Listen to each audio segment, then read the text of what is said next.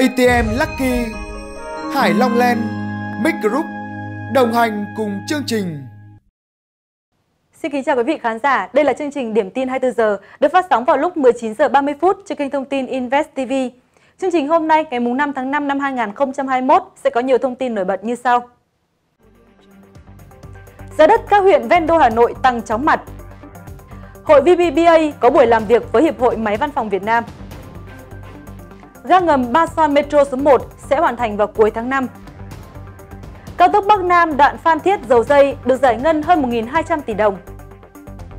Đề xuất quy hoạch sân bay quốc tế mới ở Hải Phòng. Khu đô thị của TNT Group tại Thanh Hóa được nối với đường ven biển. Bình Định sẽ phát triển 327 dự án nhà ở.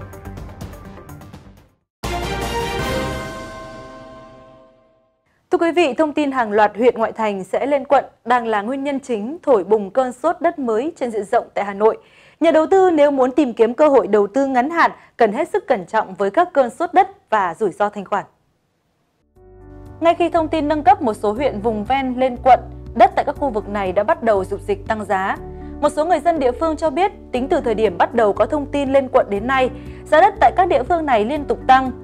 Một số khu vực hiện tại đã tăng gấp 2 đến 3 lần so với khoảng 3 năm trước. Trong số các địa phương sắp lên quận, Đông Anh là một trong những điểm nóng nhất về tăng giá đất. Theo ghi nhận, giá đất tại Đông Anh, Hà Nội đã bị tăng giá từ 15 đến 20%, thậm chí một số khu vực còn bị đẩy giá tăng 50%. Theo tìm hiểu, giá đất tại thôn Hải Bối, thôn Cổ Điển, xã Hải Bối, huyện Đông Anh đã tăng gấp đôi so với đầu năm 2020. Đất chưa có sổ đỏ cũng tăng từ 5 đến 10 triệu đồng một mét vuông, lên 25 đến 30 triệu đồng một mét vuông. Đất thổ cư trong ngõ ô tô vào được cũng có mức giá từ 70 đến 100 triệu đồng một mét vuông. Đất thổ cư ngõ nhỏ thì sẽ có giá từ 30 đến 65 triệu đồng một mét vuông. Trong khi đó, đất đấu giá ở gần trung tâm thị trấn Đông Anh dao động hơn 85 triệu đồng đến hơn 100 triệu đồng một mét vuông. Đất thổ cư dao động trong khoảng từ 120 đến 150 triệu đồng một mét vuông tùy vị trí. Đưa ra lời khuyên cho nhà đầu tư tại 5 huyện chuẩn bị lên quận, bà Đỗ Thu Hằng, trưởng phòng nghiên cứu Savills Việt Nam cho biết, trong bối cảnh đô thị hóa, đây chính là các thị trường có dư địa để phát triển và để bất động sản tăng giá nhiều hơn là các thị trường đã ổn định. Tuy nhiên khi chọn mua, nhà đầu tư nên lựa chọn những sản phẩm rõ ràng về pháp lý, có tiềm năng tăng giá.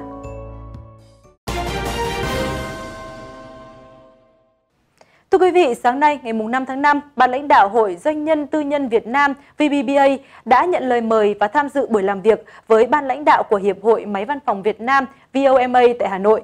Đại diện hai hội đã có những chia sẻ và mong muốn hợp tác để tạo điều kiện thuận lợi, kết nối hỗ trợ phát triển cho cả hai tổ chức. Trong buổi làm việc, Phó Giáo sư Tiến sĩ Nguyễn Trọng Điều, Nguyên Thứ trưởng Bộ Nội vụ, Chủ tịch Hội Doanh nhân Tư nhân Việt Nam cũng đã có những phát biểu gửi lời cảm ơn đến ban lãnh đạo Hiệp hội Máy Văn phòng Việt Nam đã chủ động mong muốn được đồng hành để trở thành hội viên tổ chức VBBA. Trong buổi làm việc lần này, Phó Giáo sư Tiến sĩ Nguyễn Trọng Điều cũng nhấn mạnh về vai trò quan trọng của doanh nghiệp tư nhân đến sự phát triển của nền kinh tế Việt Nam. Qua đó, sự tin tưởng của Hiệp hội VOMA đến VPPA là điều hết sức vinh dự. Về phía Hiệp hội Máy văn phòng Việt Nam, ông Nguyễn Tuấn Minh, Chủ tịch Hiệp hội cũng đã có lời cảm ơn đến sự quan tâm của ban lãnh đạo VPBA khi đã tới thăm và làm việc với Hiệp hội VOMA. Và ông Minh cũng bày tỏ mong muốn sâu sắc, nguyện vọng được trở thành thành viên chính thức, theo cả hai góc độ là cả doanh nghiệp tập đoàn VPS và Hiệp hội VOMA Việt Nam. Cuộc gặp gỡ và làm việc lần này có thể sẽ là dấu mốc để hai tổ chức hội có được sự tương trợ và đồng hành xây dựng cộng đồng doanh nhân, doanh nghiệp của cả hai tổ chức ngày càng phát triển mạnh mẽ.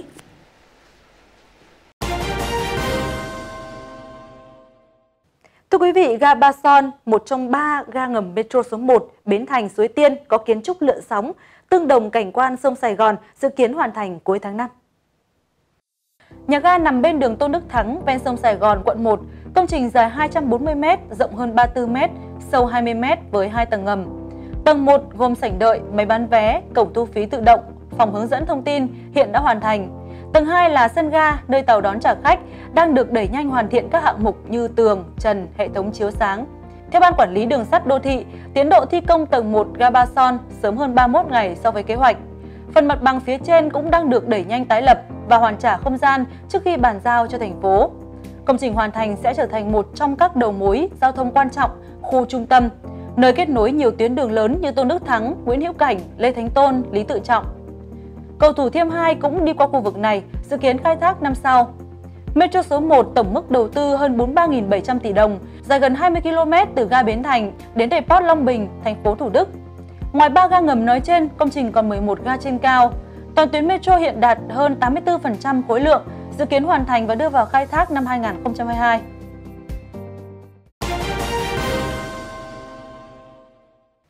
Trong báo cáo gửi Bộ Giao thông Vận tải về việc thi công cao tốc Bắc Nam đoạn nối Phan Thiết Dầu Dây, Ban quản lý dự án Thăng Long, đại diện chủ đầu tư cho biết, đến nay dự án này đã được giải ngân hơn 1.200 tỷ đồng.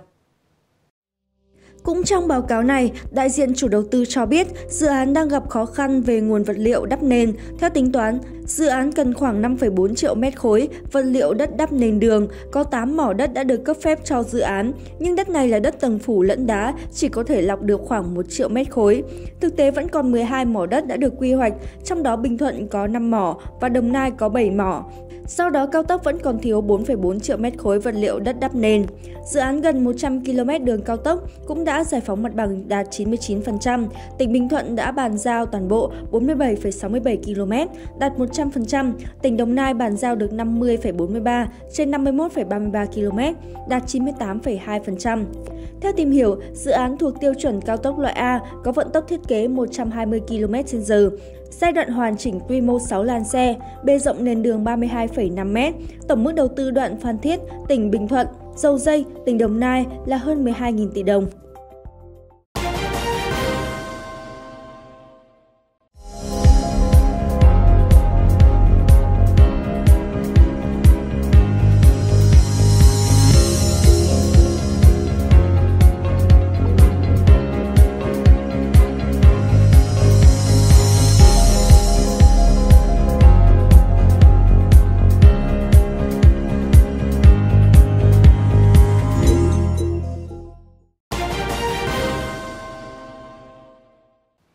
Mới đây, đại diện Cục Hàng không Việt Nam cho biết cơ quan này đã hoàn thành báo cáo thẩm định quy hoạch hệ thống cảng hàng không, sân bay toàn quốc thời kỳ 2021-2030, tầm nhìn đến năm 2050, gửi Bộ Giao thông Vận tải và Hội đồng thẩm định quy hoạch.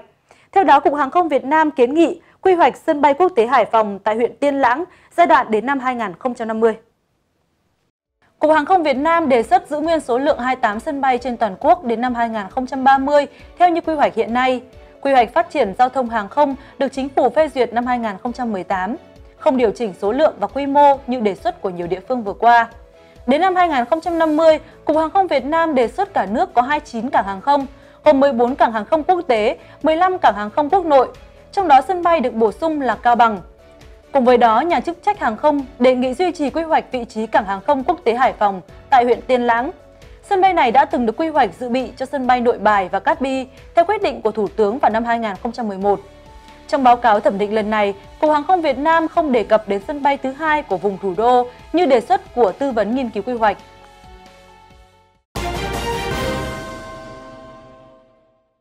Thưa quý vị, Ủy ban Nhân dân tỉnh Thanh Hóa vừa có công văn về việc chấp thuận đấu nối dự án khu du lịch sinh thái Tân Dân của tập đoàn TNT làm chủ đầu tư vào tuyến đường ven biển.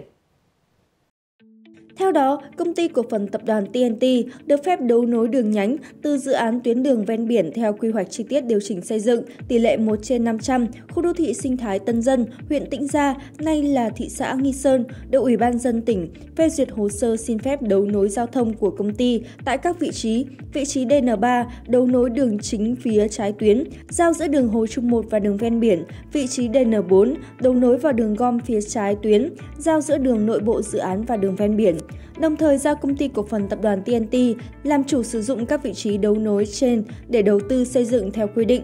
Dự án khu du lịch sinh thái biển Tân Dân được Ủy ban dân tỉnh Thanh Hóa cấp giấy chứng nhận đầu tư cho tập đoàn TNT từ năm 2013, dự kiến sẽ hoàn thành vào năm 2018. Tuy nhiên, dự án liên tục chậm tiến độ, nhiều lần xin điều chỉnh. Theo kế hoạch ban đầu, dự án có tổng mức đầu tư 51 triệu đô la Mỹ, khoảng 1.024 tỷ đồng, quy mô thực hiện trên diện tích 117 ha, bao gồm các hạng mục khu biệt thự cao cấp, khu dịch vụ tắm biển công cộng, khách sạn, hội nghị, dịch vụ tổng hợp, khu công viên vui chơi giải trí.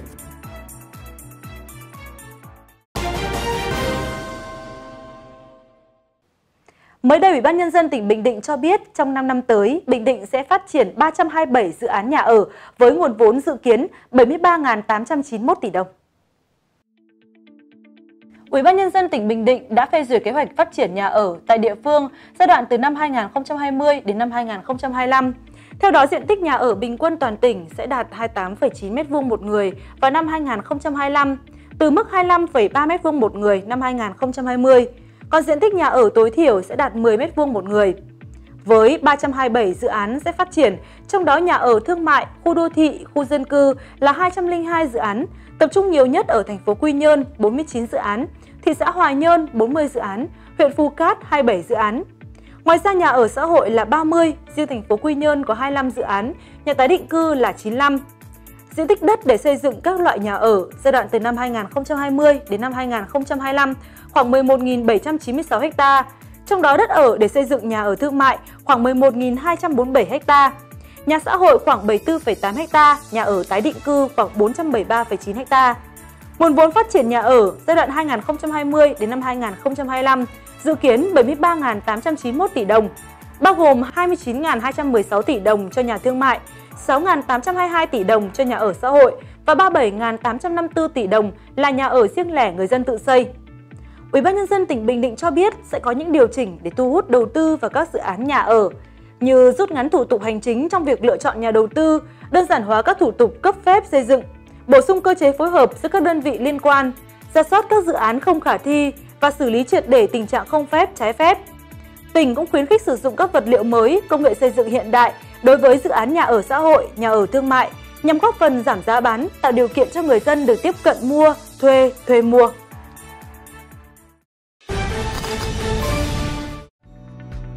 Khu đô thị Việt Hàn được hình thành như một minh chứng cho sự phát triển ngày càng thịnh vượng của Phổ Yên.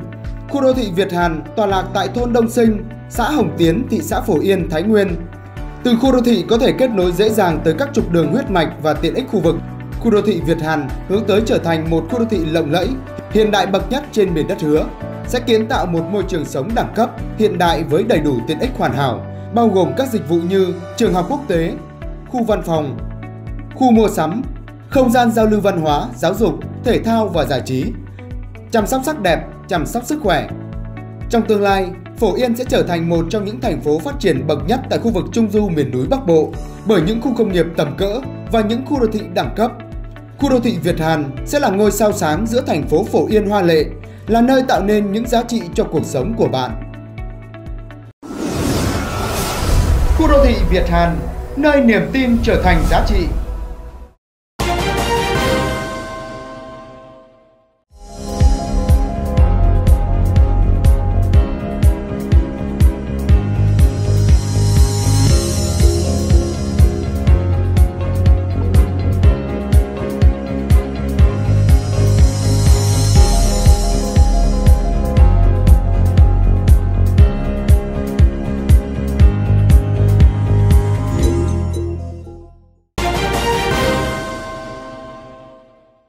Đến đây thì thời lượng dành cho chương trình Điểm tin 24 giờ cũng đã kết thúc. Cảm ơn sự quan tâm và theo dõi của quý vị. Cũng xin được cảm ơn sự đồng hành của các đơn vị.